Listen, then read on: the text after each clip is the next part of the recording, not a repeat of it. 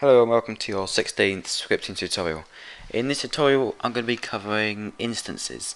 So um, you may be you may have seen uh, with the word instance before in a script if you just you know play around with free models, uh, play around with the scripts, you may have seen the word instance somewhere and probably wondered what it means and what it does and how to use it. So I'm going to show you how to use it this tutorial. So um, again, I just want to say that there's not that many more tutorials in the beginner series that I need to give. I mean, this is number 16. I might, I might do a few more tutorials on loops after this. Um, I might go up to maybe 30, 35, something like that. We might. I think we've just gone past half, halfway through the beginner series. So um, there's not that much more in the beginner series. There's about 16 more, but they're probably going to be short videos. So I'm not sure yet. So um, the advanced uh, series on scripting is going to be much longer than this and also I'm going to do a series on GUIs because GUIs is going to come separately so I just want to do it separately. And also yeah I'm going to make game tutorials as well so how to make different sort of games. So um, yeah I don't want to make the intro of this video too long so let's get started on instances.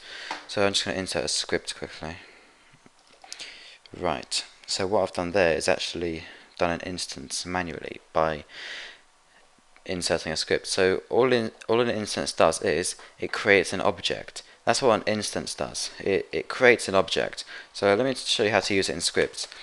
Um, you can't just write the word instance like this. Like, but you've probably seen the word instance with dot .new on the end because it's, it's like brick color and vector3. You need to put dot .new on the end of it. So like vector3.new and then your values brickcolor.new and then your brickcolor value. And instance.new creates an object variable but you need to tell it what object you want to create. Now you can't just write instance.new just like that. So no you can't do that. We've got to set it to an object variable because we have created an object. So let's go ahead and create an object variable. Now they, they look the same just like any other variable like an integer variable or, or a boolean variable it's just I mean you don't need to like declare what type of variable is before it. You don't need to put like object and then object part. Like in certain programming languages you need to put like int for integer and then the variable name. But in Lua you don't need to just stick the variable like that. Just a quick refresh on variables. So this will become an object variable once we give an object to it. But we're not going to say part equals script.parent, we're going to do something different. We're going to say part equals instance dot new. I spelled that right. Inst yeah. Uh, instance dot new, and then parenthesis in the end.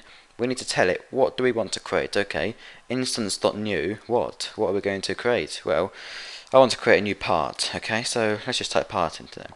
Now, if you go to insert basic objects, you can see all the different objects you can possibly insert into a game. I mean, I'm sure there are more than this if you click on different things, but these are all the objects that you can insert into the workspace. Okay, so all these objects you can insert a part.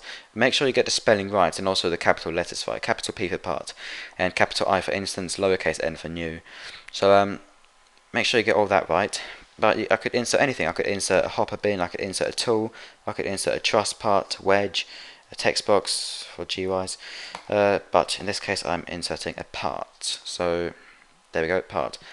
It's just like clicking on it, double clicking on it and inserting it into the workspace, except we're going to tell the script to do that for us.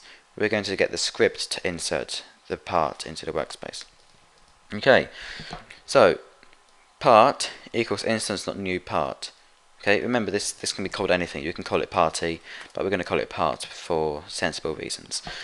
So now we've created a part. Okay, part is now equal to a part. Like if I go, let me just go to insert basic object, double click part, you can see it's a 4 by 2 by 1 part, it's grey and it's unanchored. Now that's just the default settings for the part. It's got studs on the top, inlets on the bottom, and that's the default you know setting for a part. That's how a part would spawn when you create a new part. It's not going to spawn all coloured up and anchored and everything. It's just going to spawn like this, unanchored, grey, brick, 4 by 2 by 1. Uh, actually, it's no, it's not 1, it's 1.2 I think. Hold on. Uh, yeah, 4, 1.2 in the y-axis. So I mean, if I, if I were to click it and make it symmetric, go to form factor and then click on symmetric, you can see now it's 1 because all parts are symmetric. It's, you can't have decimal points when it's symmetric. I can't go 1.5, it just round it to 2. But if it was uh, on brick, then yes, you can have uh, decimal points. In fact, I don't think you can get it to a whole number. I think it, it goes up in point fours when you have it on brick. But anyway, you'll see when you play around with it. I'm just going to quickly stick my charger in because I like where my charger is in. Okay, right, so now you know about form factors. Now let's go back to instances. Let me make it symmetric quickly. So that is how the default part would, would spawn. It'd be form factor of brick and it'd be 4 by 2 by 1.2 and that's how it spawn. Now that's the same thing when you're making a part of a script. It will spawn with the same properties, 4 by 2 by 1.2. It will be grey, it'll be unanchored, slots on the top, uh, inlets on the bottom. It'll be the same thing when you spawn a part of instance.new. Okay, so what we've done is we've just said, okay, part equals instance.new part. Okay, so we've created a new part, but where is it? We haven't inserted it into the workspace yet. The part is not in the workspace yet. We need to put it into the workspace. Now there's two ways of doing it. You can either give a second parameter, I mean a second argument into the instance.new um, thingy. I'm not going to use technical terms because you're beginners and I don't want to confuse you. But we're going to insert another argument. So we can either we're going to give the part a place to go, if you know what I mean. So let's type in game.workspace. What this will do is, it will insert the part into the workspace. Okay, if we didn't have this game.workspace bit here, then it wouldn't know where to put the part. It, it'd create the part, yeah, the part would be there, but the parent of the part would be nil. The parent of the part would not exist. I mean, there'd be, there'd be no parent. This part would have no parent, so therefore we wouldn't see the part. But if we stick the part in the workspace, okay, what it's going to do is it's going to create a part and it's going to stick it into the workspace. Okay. If we were to do game.lighting, it'd create a part and it'd stick it into the lighting. We wouldn't be able to see it, but we could probably clone it from the lighting and stick it into the workspace later on. But we want to put it directly into the workspace. Now the other way of doing this is to take this parameter out and you can do part.parent equals game.workspace. Okay, part.parent equals game.workspace. That's just changing the parent of this part to the workspace. So it's doing the same thing if you were to put game.workspace as a second argument into this, um, into here. Um, this is doing the same thing. Okay, so I'm just going to do it like this. I mean, I norm I normally do it like this. Hold on. Uh, yeah, I normally do it like that, but you can do it however you want. I'm just going to zoom in quickly so you can see. Okay. So I'm going to leave it like this. You can do it however you want, however you're most comfortable doing it. It doesn't really matter, but it's not going to change how the script works. It's just how you prefer to do it. So now what we can do is we can actually, I'm going to close the script and I'm going to press play and look at that. A part has just appeared in the center of the game. Okay, it's just appeared in the center of the game, but because there's already the base plate here, it's kind of merged upwards. Okay, so let's go away from this. Reset. Let's take the base plate away. And now we can start to change the properties of the part. So let's go ahead and type part dot anchored equals true. What this is going to do is it's going to create the part, it's going to stick it into workspace, and it's going to make this part anchored. We've just taken the anchored property of this part and made it true. So yeah, part.anchored equals true. And it's, it's pretty simple. I mean, look, the part is stored inside this object variable. So what we've done is we've gone ahead, got this part from the object variable, we've gone ahead and got the anchored property and set it to true. So now the brick will be anchored when we press play. Okay, so let's go ahead and press play and look at that, it's anchored now. And the position is 000, so that would be vector3.new 000. And I mean, we could change it. We can change the position of the part to part dot position equals vector 3 dot new Give it new position of 0, uh, 5, 0. So now when we press play, it'd be slightly higher. As you can see, it's higher up there. And if we go ahead and see the properties, 0, 5, 0. Okay, so we've changed the position of the part, so we know now when we create a new part we can change the position of it Uh, let's go ahead and change the size of it. Now you can't change the size to 0, 5, 0. You can't have 0. It's got to be at least 0 0.2. That's the minimum for a part. So let's go ahead and make it 10, 5, 1. Okay, so 10 on the x-axis, 5 on the y-axis, and 1 on the z-axis. So let's go ahead and press play, and it's you can see it's it's it's changed to that size. And if you go ahead and look in the properties, you can see it's changed. Now the reason it's 4.8 is because you've got it on form factor brick. If I were to go ahead and go uh, before I change the size, okay, so before I change the size, I want to change the form factor to factor equals custom. Okay, so if I go click on part, I can scroll down and see that there is a custom form factor. Okay, here. So that means you can change it to whatever you, you want. You can change it to 0.2, you can change it to 2, you can have the size set to whatever you want. So now I can set it to maybe uh, 0.2 on the z-axis because it's custom now. So I've changed the parts form factor to custom. I can change it to 0.2 size. Oh, it's still playing. I need to reset again. Okay, I need to play, play again. And look at that, it's it's gone much more thinner. Okay, because I've changed the size to 0.2 on the z-axis. So we now know how to create a part, how to change all its properties. We can do whatever we want. I can go ahead and change the brick color dot brick color dot new uh, part dot brick color. Oh, hold on. Part dot brick color equals brick color dot new.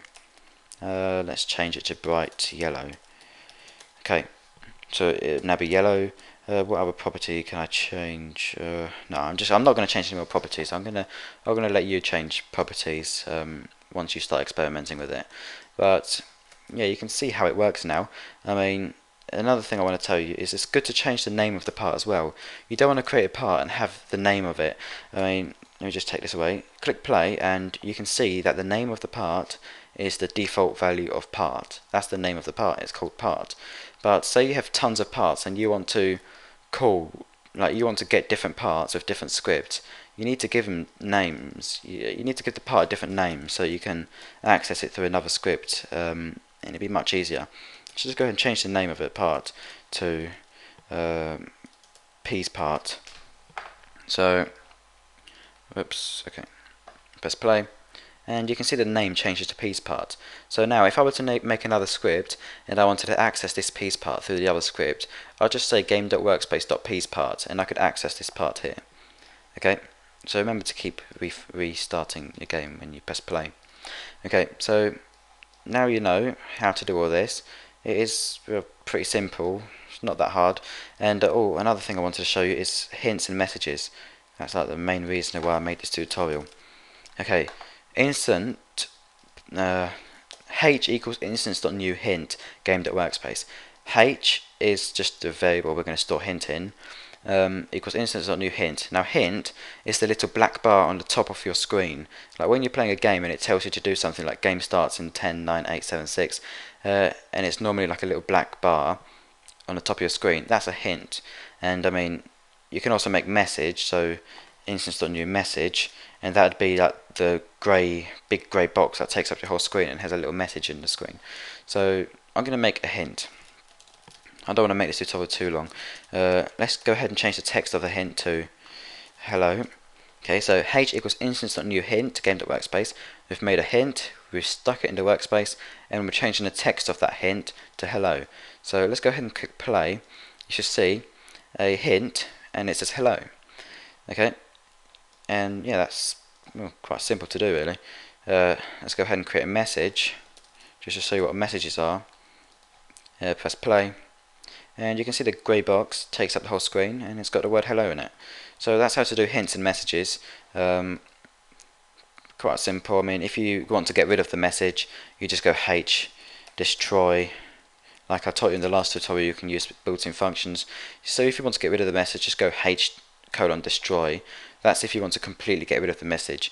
Um, so then what it would do is it would like completely destroy it. And if you want to make a new message, you'd have to create a new instance. But if you go ahead and say h.parent equals nil, then what you can do is it will get rid of the message, but it won't destroy it. So what you can do later on in the script is you can say h.parent equals game.workspace and then the, the hint would be back there. It'd be back in the workspace and people can see it again without having to make a new instance.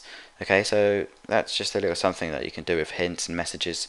Just change the parent to nil if you don't want to see it anymore.